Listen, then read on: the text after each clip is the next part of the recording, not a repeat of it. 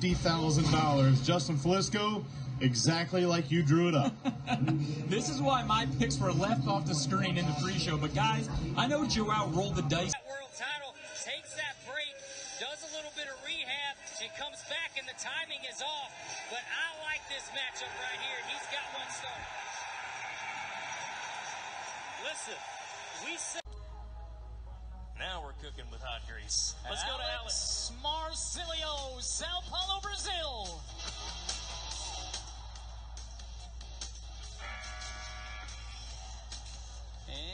former PBR World finalist doesn't go his way on a Saturday night. 0 for 2, so he is looking to next weekend. Didn't have his winter shins in order there. What are winter shins? Is that like when you win and you have shins? I don't understand. That's like your priorities. it's like Wayne's